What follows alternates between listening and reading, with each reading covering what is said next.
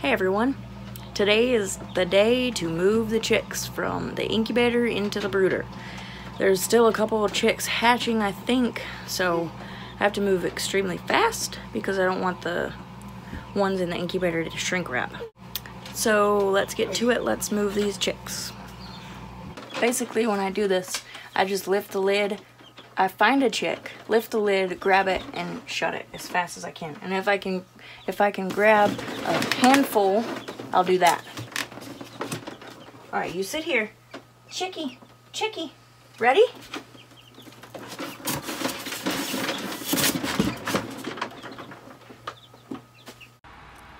Altogether, we had 10 chicks hatch, which is a great start to our new flock.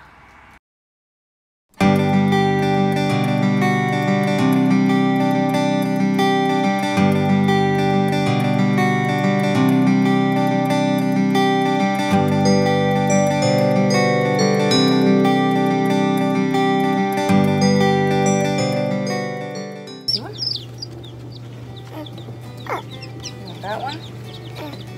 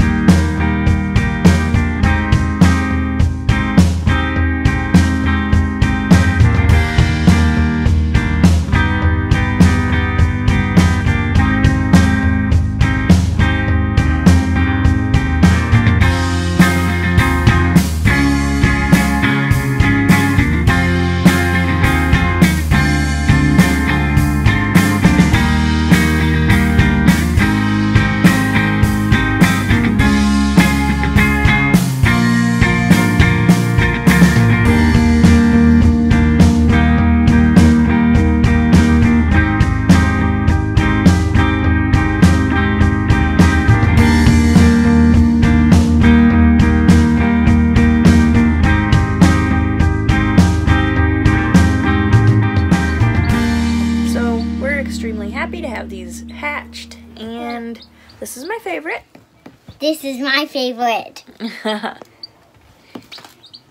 um, Stop. don't do that, Carolina.